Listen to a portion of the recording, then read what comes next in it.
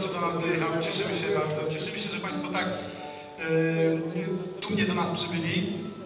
Witamy jeszcze raz bardzo, bardzo serdecznie Pana Wiceministra Sprawiedliwości, kandydata do Europarlamentu, Pana Patryka Jakiego w Buzku Zdroju. Witamy bardzo serdecznie.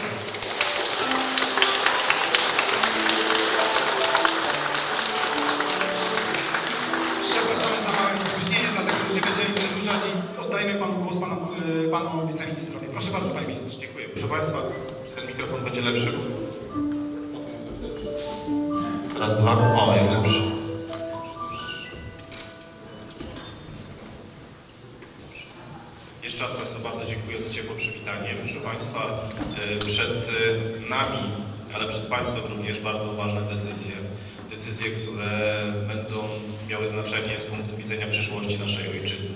Mamy, proszę Państwa, przed sobą wybory do Parlamentu Europejskiego i wybory do, chwilę później wybory do Parlamentu Krajowego. Proszę Państwa, pierwsze wybory, wybory do Parlamentu Europejskiego będą, proszę Państwa, tak ważne, jak nigdy do tej pory nie były. Ja Państwu powiem, że e, jakbyśmy się wiele lat temu spotkali, ja Państwu bym w ogóle głową, głową, głowy wyborami do Parlamentu Europejskiego nie zawracał. Natomiast teraz sytuacja jest absolutnie wyjątkowa, dlatego że sama Europa stanęła na rozdrożu. E, I proszę Państwa, są dwie drogi i Państwo będziecie wybierali albo jedna, albo druga droga. To Państwo jesteście sędziami e, i dzisiaj jest taka sytuacja w całej Europie, że nawet jeden głos może mieć znaczenie. Jeden mandat może sprawić, że większość w Parlamencie Europejskim będzie taka albo inna. A jak bardzo jest duży kontrast ofert w tej, ofert w tej chwili w Europie, to ja Państwu będę chciał powiedzieć, szczególnie jeżeli chodzi o tą warstwę, która najsilniej dotyka teraz polskiej debaty publicznej, to znaczy świat wartości. Ja będę chciał Państwu jakby o tym powiedzieć e, dwa słowa e, pokazać, że nie wolno zlekceważyć tych wyborów. Ja będę Państwa namawiał tego, że nie wolno zlekceważyć tych wyborów. Potem będę otwarty na Państwa pytania. Jeżeli Państwo będzie takie pytania, chcecie porozmawiać, proszę bardzo.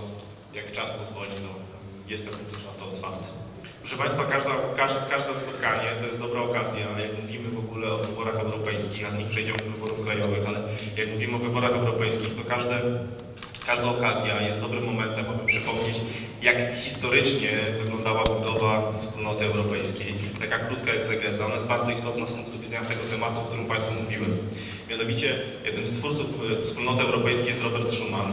To jest osoba, proszę Państwa, która notabene przechodzi proces beatyfikacji. Osoba, która jest twórcą pierwowzoru Unii Europejskiej, to znaczy Europejskiej Wspólnoty Węgla i Stali. Chcę Państwu powiedzieć notabene, że za chwilę w Europie nie będzie ani węgla, ani stali. To, to, to, też tak, to jest też jakby symptomatyczne. Ale dobrze, zaczynało się to od e, wspólnoty węgla i stali. Jest słynna deklaracja Roberta Schumana z 1950 roku. Proszę Państwa, i on chciał budować wspólnotę europejską na dwóch fundamentach. Pierwszy fundament to jest chwilę po II wojnie światowej na, e, chciał zbudować płaszczyznę współpracy, równej współpracy gospodarczej pomiędzy państwami. Do tego właśnie dążyła, do, dążyła ta europejska wspólnota węgla i stali. Ale drugi fundament, na którym budował wspólnotę europejską, to proszę Państwa, było to, że Robert Schuman mówił, że nie będzie Europy, jeżeli Europa nie będzie chrześcijańska. Jest, jest jego taka książka, takie dzieło z 1963 roku dla Europy, gdzie szeroko opisuje to zjawisko, na jakich fundamentach powinna być budowana Europa. Czyli proszę Państwa mamy te dwa składniki, czyli raz ta y, swobodna wymiana handlowa, a dwa fundamenty chrześcijańskie, wartości. I proszę Państwa, i, i te idee Roberta Schumana, one rosną doprowadzają nas do 92 roku, to znaczy do traktatu z Maastricht, uważanego za jeden z najważniejszych, e, jeżeli chodzi o powstanie samej Unii Europejskiej i w końcu dochodzimy do roku 2003, to znaczy roku, gdzie państwo idą do referendum, żeby zdecydować, czy Polska wchodzi do Unii Europejskiej, czy nie. I teraz tak, Warto sobie przypomnieć i odtworzyć całą tą dyskusję. Część z Państwa na pewno ją pamięta. Znaczy, co nam wtedy mówiono, jak wchodziliśmy do Unii Europejskiej? Proszę Państwa, to jest tak. Mówiono nam tak, że wchodzimy do Unii Europejskiej, Polacy zdecydowaną większością zdecydowali tak, wchodzimy, ale do jakiej Unii? Po pierwsze do Unii, która jest chrześcijańska. Po drugie do Unii Europejskiej, która szanuje historię i tradycję państw członkowskich, w tym Polski. Po trzecie Unii Europejskiej, która jest wspólnotą solidarnych wobec siebie narodów. Po czwarte, proszę Państwa, Unii Europejskiej, gdzie zasady rywalizacji gospodarczej są dla wszystkich równe. Dopłaty i tak. Po piąte, swobodny przepływ usług, towarów, ludności, czyli to, co znamy jako strefa Schengen.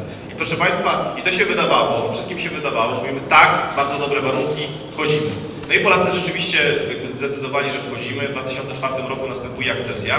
I teraz, proszę Państwa, macie ta umowa, ta umowa, która symbolicznie została podpisana z każdym z Państwa, oparta na tych pięć pięciu fundamentach, o których dzisiaj mówię.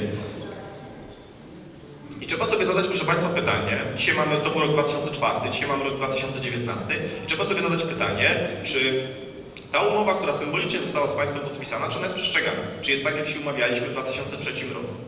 E, I proszę Państwa, no, w traktacie ateńskim, który podpisaliśmy właśnie w 2004 roku, Polska podpisała, już w preambule jest odwołanie do całego dotychczasowego dorobku wspólnoty europejskiej, w tym dorobku, e, jak rozumiem, Roberta Schumana. To jest bardzo istotne. Czyli, czyli po pierwsze to, wokół czego toczyła się dyskusja referendalna, po drugie traktat, e, traktat ateński i, i ojcowie założyciele Unii Europejskiej.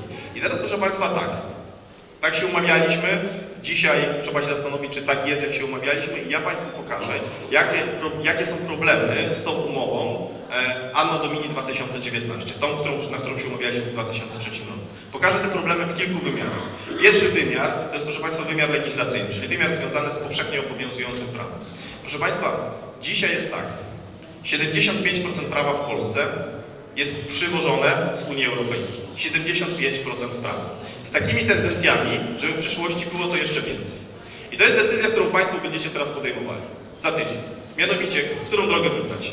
Czy drogę, którą proponuje Koalicja Europejska, to znaczy więcej Europy w Europie i w ogóle tam większe kompetencje dla urzędników brukselskich, żeby to 75% było jeszcze większą liczbą, czy propozycję, którą my przedstawiamy, to znaczy my mówimy, że Unia Europejska powinna wrócić do korzeni, to znaczy powinna, powinien być obszar, gdzie polskie państwo, gdzie Polacy decydują, jakie jest, jaki jest kształt prawa. Powinniśmy przywrócić te właściwe proporcje. Czyli raz, droga tamta, czyli ta koalicja europejska, jeszcze więcej niż 75% prawa przewożone z Unii Europejskiej, czy jednak są jakieś kompetencje, e, które zachowuje polskie państwo, jeżeli chodzi o prawo w własnym kraju. I proszę Państwa, i teraz ja Państwu pokażę jakby kilka przykładów, jak może się kończyć przekazanie urzędnikom brukselskim zbyt wielu kompetencji, jeżeli chodzi o tworzenie prawa. Pokażę Państwu na takiej starej zasadzie, że lepszy jest przykład niż wykład. I proszę Państwa, i to jest tak. Pokażę na przykładach, zacznę od takich przykładów groteskowych, no ale będę wchodził coraz wyżej i pokażę Państwu przykłady takich praw, które dotykają żywotnych interesów Polski, a nawet takich, które dotykają polskiej racji stanu. I proszę Państwa, i to jest tak. Przykład najpierw tych praw groteskowych, to możemy się trochę pośmiać, ale na rozluźnienie, proszę Państwa. No nie uwierzycie Państwo, jakie prawa potrafią tworzyć urzędnicy brukselscy. Przykładowo, proszę Państwa, oni wiele miesięcy dyskutowali na temat tego, czy taki mieli dylemat. Czy ślimak jest ślimakiem, czy ślimak jest rybą. Taki mieli dylemat, proszę Państwa.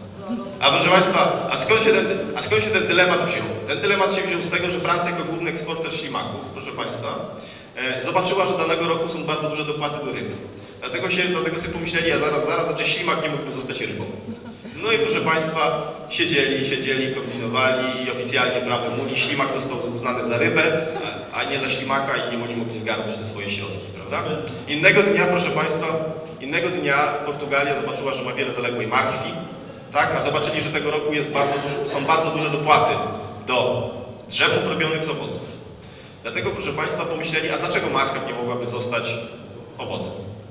No i proszę Państwa, kombinowali, wydali na to jakieś euro, prowadzili analizy i co? I oficjalnie marchew prawem Unii została owocem, a Portugalia mogła zgarnąć swoje środki, prawda? E, W ogóle generalnie, proszę Państwa, problem jest taki, że tych urzędników brukselskich jest za dużo, zarabiają za dużo i każdego dnia muszą udowodnić sens swojego istnienia.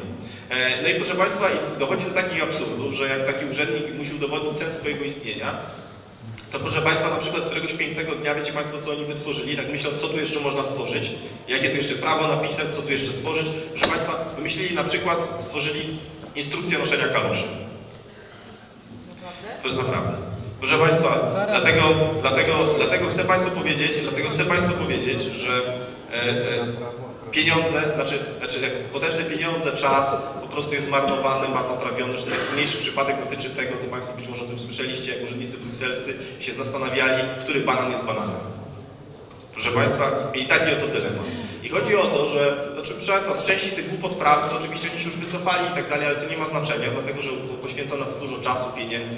I proszę Państwa, i to jest tak, to są te przykłady praw groteskowych. pokazuje Państwu, czym może się kończyć, jak jeżeli oddamy, oddamy zbyt wiele władzy urzędnikom brukselskim. Ale, jeżeli chodzi o tworzenie prawa oczywiście, ale proszę Państwa, pokażę Państwu teraz te przykłady wyżej. Te przykłady praw, które dotykają już żywotnych interesów gospodarczych Polski. E, No i proszę Państwa, takich niestety spraw jest bardzo dużo, ale podam Państwu jeden taki najnowszy. E, Przykład. Parędziesiąt dni temu Parlament Europejski uchwalił nową dyrektywę. I tutaj tło, pokażę tego, tło od uchwalenia tej dyrektywy. Polska jest, proszę Państwa, potentatem, jeżeli chodzi o transport, logistykę, spedycję. Polskie firmy transportowe mają nawet 30% europejskiego rynku. No i to się nie podoba. U, to wielu się, się nie podoba. Dlaczego Polacy mają mieć tak dużo? Dlatego, proszę Państwa, wykombinowali sobie coś takiego jak dyrektywa o mobilności, tak to się nazywa.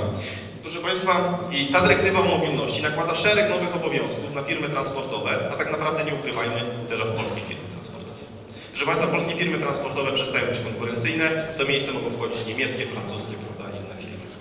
No i proszę Państwa, notabene chcę Państwu powiedzieć, że e, to jest prawo, które forsowała w Parlamencie Europejskim frakcja, do której należy Platforma Obywatelska i PSL.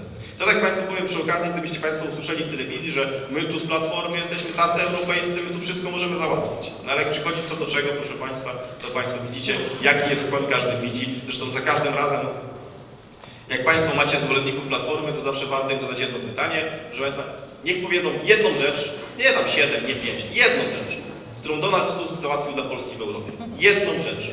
To zawsze usłyszycie Państwo odpowiedź typu takiej, że o, muszę zobaczyć, czy samochód dobrze zaparkowałem. Czy...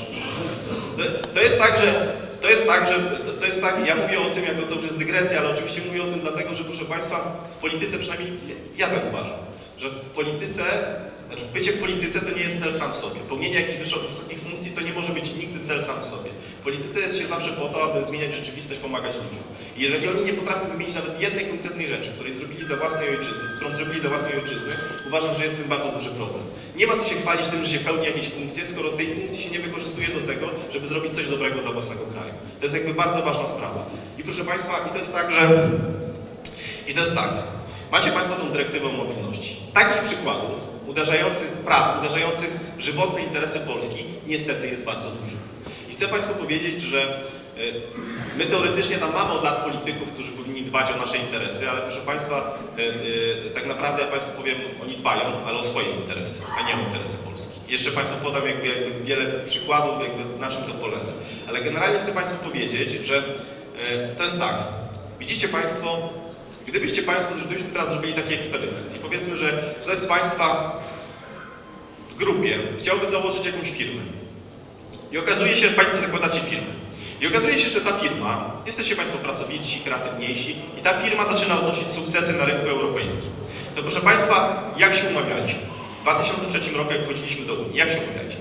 Umawialiśmy się, proszę Państwa, tak, że ta firma, jak będzie lepsza, będzie pracowitsza i tak dalej, kreatywniejsza, ta firma będzie wygrywała. Tak się umawialiśmy. Ale nie umawialiśmy się moim zdaniem oczywiście tak, że jak ta firma będzie lepsza, to my i tak stworzymy takie prawo, że i tak wygrają firmy niemieckie czy francuskie. No moim zdaniem takiej umowy nie było. I proszę Państwa, i to jest też jakby kluczowy dylemat, który stoi do rozstrzygnięcia przed Państwem. W którym kierunku? Bo to naprawdę, bo ja już nawet uważam, że to nawet nie jest w interesie Polski, tylko w interesie w całej Unii Europejskiej, żeby skończyć z tym sztucznym prawem, które ma zawsze pomagać tym najsilniejszym czy tym największym lobbystom i tak dalej. Niestety takich przykładów prawa jest bardzo wiele. I proszę Państwa, to są te przykłady praw, które ja Państwu pokazuję, które dotykają żywotnych interesów gospodarczych Polski. No ale jak pójdziemy jeszcze szczebelek wyżej, to Państwo zobaczycie przykłady praw, które dotykają już polskiej racji stanu. To jest już najpoważniejsza sprawa. Ponieważ tak, też przykład Państwu podam. Tu przykładów niestety jest dużo, ale podam Państwu przykład taki najpoważniejszy. Proszę Państwa, Parlament Europejski około miesiąca temu, też taki najnowszy przykład, uchwalił dyrektywę, która się nazywa dyrektywą ACTA 2 powszechnie. Dyrektywą ACTA 2. Proszę Państwa, wiele osób mówi, że to jest w ogóle ograniczenie wolności w internecie. Ja też tak uważam, dlatego że proszę Państwa, to jest tak, że część informacji, które Państwo dzisiaj macie darmowe w internecie, za jakiś czas będzie reglamentowane, po prostu będzie płatne. I, uważam, że, uważam, że też nie tak się umawialiśmy. Nie tak miało być. Wolność miała być jakby fundamentem w ogóle funkcjonowania wspólnoty europejskiej. Ale, proszę Państwa, za każdym razem, jak uchwala się tak kontrowersyjne prawo, to trzeba sobie zadać pytanie, jakie jest tło. Znaczy, co za tym tak naprawdę stoi. No i proszę Państwa, i takie swoiste śledztwo przeprowadzili dziennikarze yy, zachodnich mediów. Nie żeby jaki sobie wymyślić, poważnych zachodnich dzienników. I proszę Państwa, i do jakich wniosków doszli? Okazało się, że ta akta 2 całe, to proszę Państwa, to jest deal Francji i Niemiec. który polega na tym, że Francji bardzo zależało na tym, żeby uchwalić to prawo, dlatego że ma najwięcej firm twórczych, które mogą zarobić na tym najwięcej pieniędzy i sama ma też takie prawo w własnym państwie. Chcieli, żeby to było prawo całej Unii Europejskiej. Natomiast, żeby to przeszło, potrzebowali poparcia Niemiec. Dlatego dogadali się tak, że Niemcy poprą to prawo, e, które proponuje Francja, znaczy na której zależy Francji, e, a w zamian za to Francja poprze inny projekt, na którym bardzo zależy Niemcom. Proszę Państwa, jaki to projekt? Nord Stream 2. Nord Stream 2. No i proszę Państwa, i tu się już żarty kończą. Czy tu się żarty kończą? Dlatego, że w ogóle, proszę Państwa, na czym polega projekt Nord Stream? Projekt Nord Stream polega na tym, że z Rosji do Niemiec jest prowadzony gazociąg po dnie Bałtyku. Proszę Państwa, gdzie ma być tranzytowany oczywiście gaz. E, pomimo, że taki gazociąg dokładnie z tego samego miejsca do tego samego miejsca, tak zwana część jamalska, istnieje już od lat. I idzie po ziemi. Czyli trzeba sobie zadać, proszę Państwa, pytanie, po co ktoś chce budować gazociąg pod wodą, gdzie tranzyt z inwestycją jest 6 razy droższy, skoro taki już od lat istnieje po ziemi, dokładnie z tego samego miejsca, to znaczy z Rosji do Niemiec. Proszę Państwa, i to jest, i to jest tak, y, no, proszę Państwa, ja muszę Państwu jeszcze dużo powiedzieć. Dlatego, proszę Państwa, no, będę się starał skracać, ale muszę jeszcze dużo powiedzieć. Proszę Państwa, i to jest tak, że, i to jest tak, że i, i to jest tak, i to jest tak, jeżeli Pan, dobrze, jeżeli Pan chciałby za mnie wystąpić, to proszę zorganizować spotkania i nie przeszkadzać. Proszę Państwa, i teraz tak, jest, proszę Państwa, i teraz tak, mamy z Rosji do Niemiec, Dlaczego, jeszcze raz wrócę do tego wątku, dlaczego ktoś chce budować gazociąg pod wodą, gdzie tranzyt z inwestycją jest 6 razy, 6 razy droższy, skoro, proszę Państwa, ma taki zbudowany z tego samego miejsca do tego samego miejsca po ziemi. Proszę Państwa, moim zdaniem, znaczy jest, jest tylko jedna zasadnicza różnica pomiędzy jednym a drugim gazociągiem. Wiecie Państwo, na czym ta różnica polega? Ta różnica polega, proszę Państwa, na tym, że ten gazociąg, który jest od lat idzie po ziemi, to jest gazociąg, który idzie przez Polskę, natomiast ten, który idzie pod wodą, omija Polskę. I to jest jakby ta kluczowa, i to jest jakby ta kluczowa różnica. Dlatego, proszę Państwa, dlaczego o tym przypominam? Przypominam o tym patrz znów tra- 2003 rok, dlatego, że umawialiśmy się, jak wchodziliśmy do Unii, wszyscy Państwo machali takimi flagami przed oczami z napisem Solidarność. Państwa miały być wobec siebie solidarne, szczególnie jeżeli chodzi o tak wrażliwą sferę, jaką jest bezpieczeństwo energetyczne. A tutaj, proszę Państwa, znów jaki jest koń, każdy widzi. E, I to jest, proszę Państwa, dylemat, który Państwo będziecie rozstrzygali jakby w tym pierwszym wymiarze, czyli legislacyjnym, związany z powszechnie obowiązującym prawem. Którym kierunku pójdzie Unia? Czy w tym, którym chce Koalicja Europejska, czy w tym, którym my proponujemy, to znaczy powrót do korzeni, do tego 2003 roku i do idei Schumana.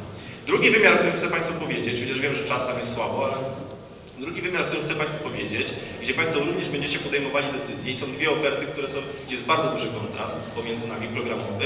Mianowicie to jest wymiar aksjologiczny, czyli wymiar związany ze światem wartości. I proszę Państwa, to jest tak. Proszę Państwa, Parlament Europejski w poprzedniej kadencji 250 razy przyjmował projekty LGBT. 250 razy. Czyli lesbijki, geje, biseksualiści. Za czym, proszę Państwa, zazwyczaj szły jakieś nakazy w postaci siły albo potężne pieniądze. Proszę Państwa, jak to się przejawia w praktyce? W praktyce przejawia się to tak, że e, przykładowo powstała, proszę Państwa, agencja, która się nazywa Agencja do Spraw Równego Statusu Płci. To się nazywa ta agencja. Proszę Państwa, na jej rozkręcenie wydano 51 milionów euro, również z naszych pieniędzy wspólnotowych, proszę Państwa. E, i, e, I czym zajmuje się ta agencja? No, proszę Państwa, nie uwierzycie, ta agencja zajmuje się jak w PRL-u, zajmuje się tym, żeby na terenie Unii Europejskiej nie, powstały, nie powstał żaden dokument, gdzie, byłby, gdzie nie byłby używany język neutralny płciowo. Co to oznacza? To oznacza, proszę Państwa, że na terenie Unii Europejskiej w dokumentach nie wolno używać już słów na przykład mama i tata. Nie wolno. A dlaczego? A proszę Państwa, dlatego, że oni po pierwsze uważają, że płeć to jest coś, co zawsze można sobie wybrać i zmienić. Tak oni uważają. Po drugie, proszę Państwa, oni uważają, że oni każą zamieniać słowa mama i tata na słowo rodzice. Wszędzie. Dlaczego? Dlatego, że proszę Państwa, oni uważają, że słowo mama i tata uderza w godność na przykład faceta i faceta, który chciałby wychować dziecko. Oni uważają, że to uderza w ich godność. To jest dyskryminacja. Dlatego nie znajdziecie Państwo żadnego dokumentu europejskiego, żadnego nie znajdziecie Państwo dokumentu europejskiego, gdzie będzie słowo mama i tata. Nie znajdziecie Państwo takiego dokumentu. To jest instytucja, która ma po prostu tego pilnować. Więcej, chcecie takich bliżej przykładów, proszę bardzo. W Warszawie przyjęto kartę LGBT+. W Krakowie też są tacy, którzy mówią, że trzeba im przyjąć ważne władze z ważnych władz Krakowa. Kto wie, gdzie to dalej zajdzie. No i proszę Państwa, i macie tak. Co to jest ta karta? O punkcie drugim tej karty, wiele mówią w telewizji, ja już nie będę tego powtarzał, bo, wiem, że nam się śpieszy, natomiast proszę Państwa, tam ten punkt drugi dotyczy edukacji naszych dzieci od 0,4 na każdym poziomie, według tych standardów WHO, to po prostu takich, które mi się w głowie nie mieszczą, dlatego nawet nie będę ich powtarzał, szczególnie o tej porze. Natomiast, proszę Państwa, e, mniej mówi się o punkcie czwartym tej deklaracji. Co jest w punkcie czwartym tej deklaracji?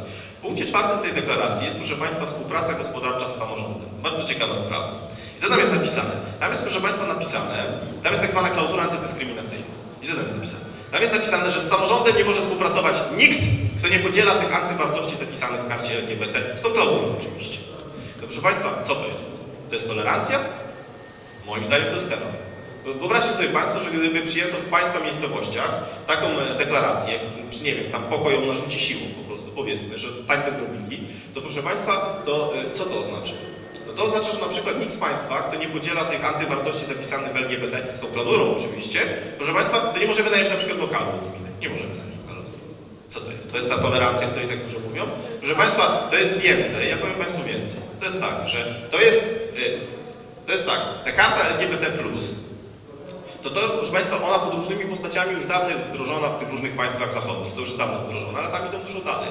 Tam oni wprowadzają, proszę Państwa, oni idą dalej, bo oni wprowadzają penalizację. Czyli co oni robią? Oni, proszę Państwa, wpisują do kodeksów karnych zapisy, które mają karać nawet więzieniem za to, że ktoś się z nimi w sposób radykalny nie zgadza z tymi ich poglądami. Oni to oczywiście tak ukrywają pod słowami na przykład homofobia, no ale proszę Państwa, ich definicja homofobii jest tak szeroka, że to, proszę Państwa, to jest tak, że, to jest tak, że Facet z partii Biedronia u nas, on to wprost powiedział, on tego nie ukrywa, możecie Państwo znaleźć w internecie, on powiedział. On powiedział, że jak my będziemy rządzić, to w Polsce za homofobię do więzienia. Do więzienia, to powiedział. A że proszę Państwa, a że, a że, że ich definicja homofobii jest wysoka, to proszę Państwa, ja od razu Państwu powiem, mój los jest na pewno przesądzony. No i chcę Państwu powiedzieć, że chcę Państwu powiedzieć, może jak dobrze wypadnę, to Państwo mi paczki będziecie do więzienia wysyłać. No, w każdym razie chcę Państwu powiedzieć, że Chcę Państwu powiedzieć, że to, jest, to są ludzie, którzy przez wszystkie przypadki odmieniają słowa tolerancja, a sami mają z nią bardzo duży problem. I to jest tak, że zobaczcie Państwo, jak to jest... Naprawdę do pytań przechodzić. Ja wiem, ale ja tyle mam do Państwu do powiedzenia. No, ja, proszę Państwa, jest tak, jest tak, jest tak, jest tak, to są, to są, proszę Państwa, i to jest tak, muszę, e, tak, proszę Państwa, proszę zobaczcie jeszcze, będę próbował chociaż skończyć ten wymiar, chociaż mam dużo Państwu tych do przekazania. Proszę Państwa, jest tak, że e, zobaczcie Państwo, jak ten system, jeżeli chodzi o świat wartości, o zmianę świata wartości jest zorganizowany. Bo to jest tak, proszę Państwa, oni rzucają taką sieć społeczeństwa, która ma na celu przeprojektowanie społeczeństw, wypłukanie starych wartości chrześcijańskich i wdrożenie tych nowych, moim zdaniem, antywartości. Antywartości tych LGBT, gender, tą, tą całą rewolucję obyczajową. Zobaczcie Państwo przykład. Jak to działa? To działa tak. Macie Państwo rodzinę, gdzie z pokolenia na pokolenie są przekazywane wartości chrześcijańskie. I proszę Państwa, i w tej rodzinie przychodzi na świat dziecko. W domu to dziecko jest nauczane świata wartości takiego, jaki jest znany w domu. Natomiast idzie do systemu edukacji państwowego, gdzie jest ta karta LGBT. No i co? Od 0,4, czyli tak, żłobek, przedszkole, szkoła podstawowa, liceum, są mu wciskane antywartości związane z tym LGBT. Czyli, yy, czyli tak, w domu jedno, ale w szkole czy w placówkach edukacyjnych całkowicie co innego. Więcej, według tej karty w każdej szkole ma się pojawić tak zwany latarnik, który ma pilnować, czy aby na pewno te wartości LGBT są wciskane dzieciom. Ma chodzić po klasach i sprawdzać, czy one są wciskane dzieciom, prawda? No więcej, zobaczcie Państwo tak, czyli tak, w domu jedno, w placówkach edukacyjnych całkowicie, całkowicie inny świat wartości. Dziecko wsiąka, te wszystkie antywartości moim zdaniem oczywiście, rośnie, na przykład w szkole podstawowej wychodzi na chwilę na przerwę i chce kupić sobie, nie wiem, jakąś tam książkę z dokumentem, prawda? I co? Dokładnie tak samo. Znaczy, tam są też wciskane mutanty wartości, nawet na poziomie słów czy obrazków, bo już od tego jest ta agencja, która ma tego pilnować, jak Państwu mówiłem. Dziecko dalej co? Rośnie, wychodzi z liceum i nie wiem, chce założyć na przykład działalność gospodarczą. I co? I dokładnie to samo. Nie założy działalności gospodarczej na równych zasadach, jeżeli nie podziela tych antywartości zapisanych w karcie LGBT. Proszę Państwa, zobaczcie, jak to jest świetnie zorganizowany system. Cały system, który ma przeprojektować społeczeństwa. I chcę Państwu powiedzieć, że ten system niestety działa. Znaczy, to jest tak, że w państwach zachodnich, w państwach zachodnich, proszę Państwa, to jest tak, że możecie Państwo zobaczyć, że w krajach nawet tradycyjnie chrześcijańskich, jak Irlandia czy Hiszpania, w tej chwili są burzone kościoły albo kościoły są zamieniane na hipermarkety. I Polska jest jednym, proszę Państwa, z ostatnich państw, które się przeciwstawia tej całej rewolucji obyczajowej. Polska im w ogóle przeszkadza. Natomiast chcę Państwu powiedzieć, że chcę Państwu powiedzieć, że no, znaczy, to jest tak, diabeł nie śpi. I to jest tak, że ja bym powiedział, że oni w tej chwili, yy, znaczy jak, gdybym miał użyć jakiegoś porównania, to powiedziałbym tak, że oni w tej chwili, proszę Państwa, włożyli nogę w drzwi, jeżeli chodzi o Polskę. Włożyli nogę w drzwi. I teraz już od nas zależy, czy oni wejdą, czy ich wywalimy. I to będzie też Państwa decyzja w tych wyborach, znaczy w którą stronę chcemy. E, I chcę Państwu powiedzieć, że ja często sobie w ogóle zadawałem pytanie, po co oni to robią? Znaczy, po co oni tyle pieniędzy, tyle siły inwestują w przeprowadzanie tej rewolucji obyczajowej? I proszę Państwa, i ja wydaje mi się, że wiem dlaczego. To są oczywiście, to jest moje zdanie, uważam, są dwa powody. Proszę Państwa, pierwszy powód jest taki, że jeżeli macie Państwo człowieka, który jest silnie zakorzeniony w wartościach chrześcijańskich, to proszę Państwa, taki człowiek w sprawach podstawowych łatwo rozróżni dobro od zła. Łatwo oddzieli ziarno od plew. Natomiast proszę Państwa, człowiek, który jest tego wypłukany, dla niego wszystko staje się relatywne. Łatwo nim manipulować, łatwo mu się wciska te wszystkie transgraniczne produkty i tak dalej, na czym, znaczy, na czym zależy dużym korporacjom, ale nie tylko. Proszę Państwa, jest jeszcze jeden powód, dla którego te elity europejskie moim zdaniem tyle pieniędzy angażują w, te, tę- tą całą rewolucję. Proszę Państwa, to jest taki powód, którego ja doświadczyłem na jednym z takich spotkań w sposób empiryczny. To znaczy przyjeżdża jakby grupa młodych ludzi na, jedno z takich spotkań i ze mną dyskutują, kłócą się i tak dalej. I proszę Państwa, aż w końcu jeden z nich wstaje, to są tacy ludzie, którzy przeszli gdzieś tam, tam do rewolucji, mieszkali w jakimś tam państwie zachodnim, przeszli tą całą rewolucję, aż w końcu jeden z nich wstaje i proszę Państwa i mówi tak, Panie, a po co mi w ogóle Polska? Że ja jestem Europejczykiem, Pan mi tu głowę zawracasz i tego. Proszę Państwa, moim zdaniem im o to chodzi. Znaczy im chodzi o to, żeby jak najwięcej osób zadawało sobie pytanie, po co mi Polska? Dlatego, że im więcej osób będzie zadawało pytanie, po co mi Polska, tym Polska będzie słabsza. A im Polska będzie słabsza, tym łatwiej będzie można ją kolonizować gospodarczo na przykład. O co się toczy bitwa już od 1989 roku, Państwo to najlepiej wiecie, prawda? Te sprzedaży, sprzedaży naszego majątku, przemysłu i tak dalej za złotówki i tak, za, za jakieś śmieszne pieniądze. I o to toczy się prawdziwa bitwa. Jak Państwo widzicie, również w sferze obyczajowej ta rewolucja w Polsce przyspieszy. Te wszystkie, te wszystkie jakby ataki, które były zorganizowane na przykład 3 maja przez Donalda Tuska i tego jego kolegę prawda, na, na Kościół, uważam, że nie ma w tym żadnego przypadku. Tak? Jeżeli my mówimy, ok, pedofilia, proszę Państwa, obrzydliwa zbrodnia i wszędzie trzeba z tym walczyć, proszę bardzo. Tak? Ale my mówimy, proszę bardzo, znaczy my chcemy walczyć z wszystkimi, znaczy z pedofilią wszędzie, a oni tylko w Kościele. No jak to jest? Znaczy albo wszędzie chcemy walczyć, albo, no proszę Państwa, znaczy to, to, to, to, jest, to, to jest tak, że chodzi o to, cho- chodzi o to, chodzi o to, że proszę Państwa, że żebyśmy potrafili, żebyśmy potrafili teraz jakby zobaczyć to całe zjawisko w szerszej perspektywie. Jeżeli chodzi o walkę z pedofilią, to akurat jakby nasze środowisko w tej sprawie nie ma sobie nic do zarzucenia. Od lat przygotowujemy i przeprowadzamy jakby radykalne projekty w tym zakresie. Tak radykalne, że mówią, że za radykalne. Natomiast, proszę Państwa, musicie wiedzieć, że w tle też odbywa się inna walka. Walka o to, aby zniszczyć cywilizację chrześcijańską na wielu jakby polach. I proszę Państwa, trzeba sobie zadać pytanie, jeżeli zniszczą cywilizację chrześcijańską do końca, to jaka jest alternatywa? Trzeba sobie zadać pytanie, jaka jest alternatywa? Alternatywą jest co? Tak jak niektórzy chcą rób ta co chce, ta? to jest ta, jakby ta ideologia rób ta co chce, ta? i co, to wtedy będzie dobrze? Wszystkie systemy totalitarne, proszę Państwa, za, zaczynały od walki z Kościołem, wszystkie systemy totalitarne. I co się wtedy działo? Jak, proszę Państwa, Kościół ma swoje wady, ale przecież, proszę Państwa, Kościół to jest przede wszystkim nauka etyczna, moralna, która stawia granice, pokazuje, że człowiek ma wolną wolę, prawda, ale musi żałować za grzech, dążyć do poprawy. A co jest alternatywą, jest rób ta co chce ta? Proszę Państwa, wtedy, kiedy systemy totalitarne zaczynały walczyć z Kościołem, co się działo? Zło rosło. Zło rosło. A proszę Państwa, moim zdaniem to jest tak, że to nie będzie tak, jak sobie niektórzy myślą, proszę Państwa, że, że y, po y, chrześcijaństwie zostanie próżnia. Nie będzie nic. Nie. Ja uważam, że w tą próżnię bardzo szybko wejdzie, wejdzie islam. I wtedy jakby te, y, te, te organizacje lewicowe zobaczą, jak się z nimi rozmawia. Wtedy oni dopiero zobaczą, co to znaczy tolerancja i tak dalej. Dlatego, proszę Państwa, przepraszam, mam słaby czas, po prostu walczymy od miejscowości do miejscowości jeździmy i po prostu walczymy na każdym froncie. Proszę o wyrozumiałość. Chciałem Państwu jeszcze więcej powiedzieć, ale widzę, że z czasem jest, jest bardzo słabo, tak? Bardzo. Z podkreśleniem bardzo. E, e, dlatego, e, dlatego, proszę Państwa, to na koniec jeszcze Państwu powiem jedną rzecz, że, że proszę Państwa, ja uważam, że gdybym miał jakby użyć jakiegoś takiego sformułowania, które syntetycznego, które by pokazało, określiło, czym różnią się nasze oferty polityczne, to powiedziałbym tak, że Państwa, w Polsce są dwie grupy.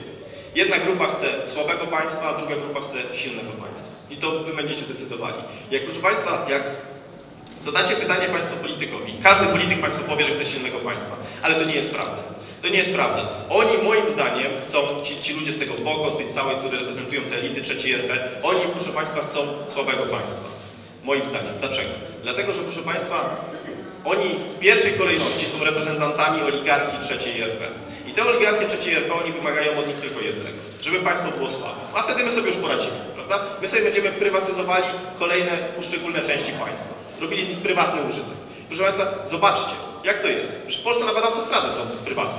Kto to wiedział, żeby autostrady były prywatne? Gdzie to macie autostrady prywatne? W jakich państwach są autostrady prywatne? W jakichś tam, gdzie po prostu wschodnich i tak dalej. Y, Gazociągi i tak dalej, ważne części gazociągów czy tych firm, które się tymi zajmują. No kto to widział takie rzeczy, proszę Państwa, proszę Państwa. I to jest tak, że po prostu y, w wyniku tych porozumień od 1989 roku polskie państwo jest kolonizowane przez różnego rodzaju grupy interesów. I oni mają swoich reprezentantów też w Sejmie i oni oczekują od nich tylko tego, żeby polskie państwo było słabe, a wtedy my sobie poradzimy.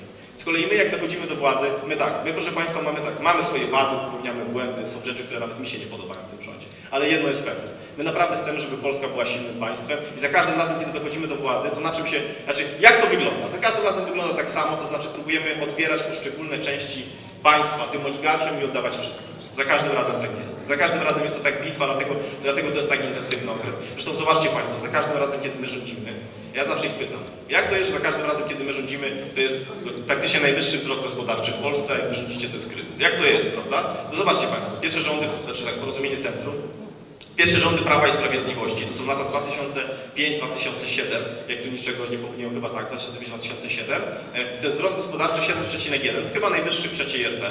Teraz, proszę Państwa, jak rządzi drugi rządy Prawa i Sprawiedliwości, mamy wzrost gospodarczy 5,1, proszę Państwa, najwyższy w Unii Europejskiej. 5,1 najwyższy w Unii Europejskiej. I za każdym razem, kiedy ja pytam, jak to jest, że jak my rządzimy, to jest taki wzrost gospodarczy, a Wy jak rządzicie, to jest kryzys, to oni mówią, bo Wy szczęście macie.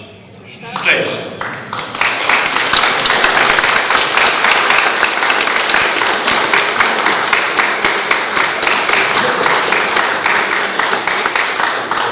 Dlatego, proszę Państwa, moim zdaniem to jest realny wymiar, znaczy naprawdę są bardzo poważne wybory przed nami. Ja bardzo Państwa proszę o mobilizację, bardzo Państwa proszę, bo system medialny jest w Polsce naprawdę taki, że bardzo ciężko znaleźć prawdę. I ja bardzo Państwa proszę o to, żebyście zważyli te wszystkie argumenty i próbowali na własną rękę szukać prawdy, bo tylko prawda jest ciekawa. Przed nami bardzo ważne wybory. Dziękuję Państwu uprzejmie jeszcze raz. Dziękuję. Dziękuję, dziękuję panu ministrowi. Prosimy o takie pytania z sali.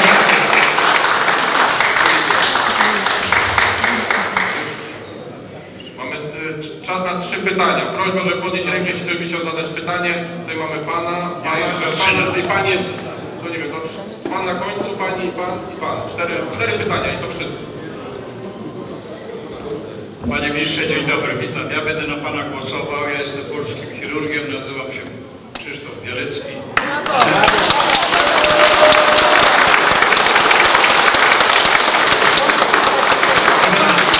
Panie ministrze, ja wszystko zgadzam się, ale pan będzie w Unii Europejskiej, czy pan będzie sam reprezentował taki pogląd? Mnie bardzo by interesowało, czy pan ma sojuszników z innych krajów, to pan mówi o Europie, jaką chcielibyśmy mieć. Pan sam nie da rady, mimo pana całego entuzjazmu, który cenię. Czy macie państwo już myśl, z kim będziecie w sojusz, żeby przeprowadzić te wartości, o których pan mówi? Następny, proszę bardzo. Pani jeszcze była i pana. Ja, panie ministrze, chciałbym za- zadać pytanie, dlaczego tak minister sprawiedliwości nie jest apolityczny? Bo do czego to się sprowadza, że były minister Macierewicz ze swoją świtą jeździł po drogach, rozbijał niewinnych ludzi.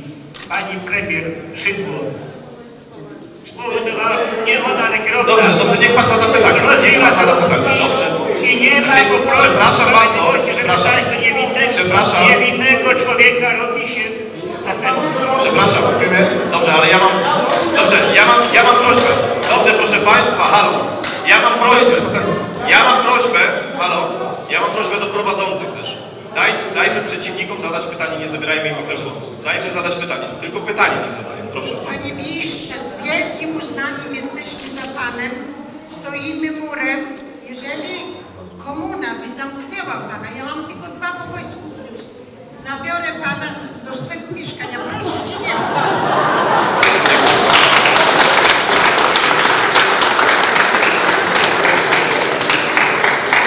Panie ministrze, Wielkiej mam takie pytanie, czy przyjechał Pan tutaj jako warszawiak, czy tym razem już jako tutejszy swój klub? Dziękuję. No właśnie, to jest najlepsze pytanie. Szczęść Boże, książarek Panie Ministrze. E, Pytanie takie, jeśli chodzi o uczniów religijnych, jak mieliśmy tam przykłady takie, czy na przykład nie istnieje zmiana możliwości oceny e, nie uczuć, tylko na przykład, żeby symbole chrześcijańskie typu obraz Matki Bożej Częstochowskiej, krzyż, pisać to jako e, znak firmowy e, chrześcijaństwa, że to jest coś nie do ruszenia, jak na przykład firmy zagraniczne typu markową młodzież, że jeśli się podrobi taki znak, czy jakieś stały się zmiany, że no, sądzić i odszkodowanie, żeby płacili, bo z uczuciami to jest różnie. Ja mam takie pytanie. Zrobiliście zmiany w prawie, w prawie y, że jest 10 na 6 lat przedawnienia prawa gospodarstwa. Nie ma żadnych spraw przed przedawnionych. Bo ja mam już 19 lat i te sprawy się dalej blokują. Więc powinno być, że od wyroku 10 lat i sprawy zostają zamknięte. To jest prze- przełożenie z jednej strony na drugą stronę. Nie, nie ma żadnego takiego przedawnienia gospodarczego. Czy nie, bo to zależy, Mordercy mają przedawnienie, ale, ale nie jest gospodarczego. Czy wie, bo to zależy kiedy był wyrok, od kiedy sprowadzone postępowanie. Tutaj niuanse mają znaczenie, ale, Prze- Przerwają prawnicy po pięć razy przerwają sprawę. i- ale zgadzam się, że wie pan, że to wszystko trwa za długo, to nie ma wątpliwości. Ja chciałam po prostu podziękować, że mieliśmy przyjemność się z Panem spotkać. Będziemy głosowali na Pana, bo myślę, że większość, która tutaj przyszła, to jest za Panem. I bardzo się cieszę, że może Pan będzie nas reprezentował później ze swoimi poglądami i ze swoją działalnością. Dziękuję.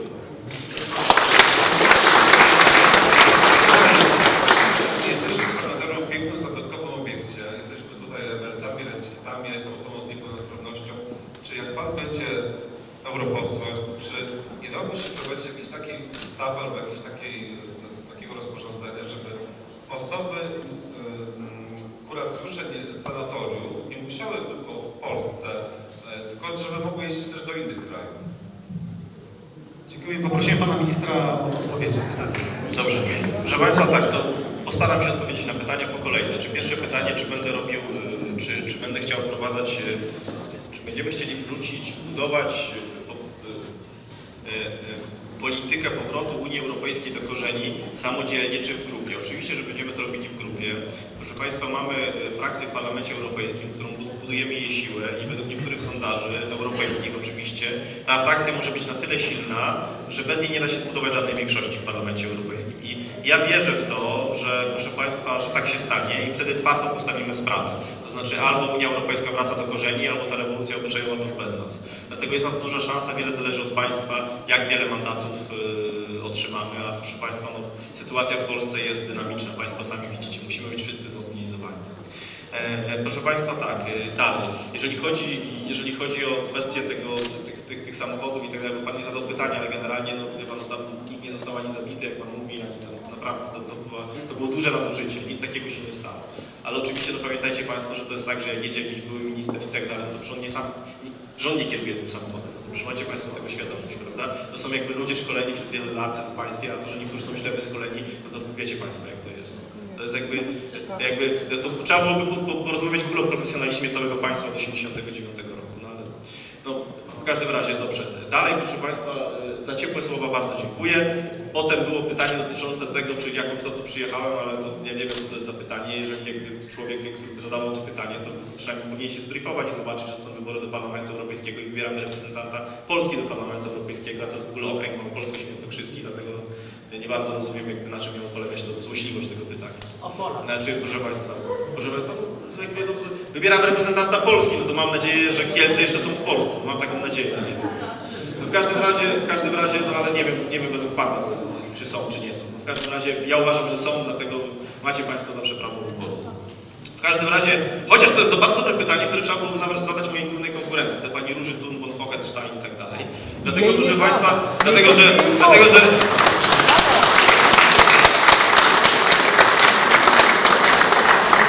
Kogo ona reprezentuje? To jest bardzo dobre pytanie. proszę Państwa, proszę Państwa, proszę, Państwa, proszę Państwa, bo, to jest tak, że to jest Pani, która, proszę Państwa, jedzie do Parlamentu Europejskiego, głosuje przeciwko Polsce, jeszcze przyjeżdża do Polski się tym pochwalić. Proszę Państwa, ja nie wiem. Widzieliście Państwo, żeby, nie wiem, poseł, poseł z Niemiec głosował przeciwko swojemu państwu w Parlamencie Europejskim, przyjechał do Berlina jeszcze się tym pochwalić. No, no proszę Państwa, no, to, to był, byłby skończony, a w Polsce to... No dobrze, no w każdym razie, w każdym razie, proszę Państwa, w każdym razie tak, jeżeli chodzi o kwestię związaną z tym, żeby Polacy mogli podróżować do, e, w ramach e, do innych sanatoriów na całym świecie, to po prostu całym sercem. Ja nie wiem, jak to wygląda z punktu widzenia prawa, nie będę oszukiwał, że aż tak dobrze znam w tym zakresie e, prawo. Natomiast jakby ja rozumiem, że kluczowe są tutaj środki. My, proszę Państwa, jakby pracujemy nad tym, żeby polskie państwo było coraz bogatsze, ale no nie ukrywajmy, no, od 1989 roku przez większość czasu rządziły elity trzeciej RP, które pozwalały na to, żeby gigantyczne środki z polskiego państwa były wyprowadzane. Jakbyśmy mieli więcej czasu, ja bym Państwu powiedział, po, po, powołam się tylko na raport 2013-14 bodajże wyszedł raport jednej z największych amerykańskich think tanków, który pokazał, że Polska była trzecim państwem na świecie, z którego wyprowadzano najwięcej pieniędzy, oprócz państw afrykańskich i tak dalej. No to macie Państwo odpowiedź, a my to wszystko jakby uszczelniamy i naprawdę są tutaj bardzo duże efekty y, naszej pracy. Y, to każdy może zobaczyć na liczbach, naprawdę to jest niekwestionowane. No, mam, nadzieję, że niekwestionowane przez nikogo. Parędziesiąt miliardów każdego roku wraca więcej z szarej strefy od grup przestępczych do, do, do polskiego budżetu i to jest efekt naszej ciężkiej pracy. Tak jak przestępczość spada i tak dalej. No to, to się samo nic nie dzieje. To jest efekt naszej ciężkiej pracy. No dobrze, proszę Państwa, ja muszę jechać już do kolejnej miejscowości i walczyć o to, żeby, żeby był jak najlepszy wynik w tych wyborach. Chciałbym Państwu bardzo serdecznie podziękować za cierpliwość do mnie i życzyć wszystkiego dobrego. Proszę zważcie te argumenty. Dziękuję Państwu bardzo serdecznie.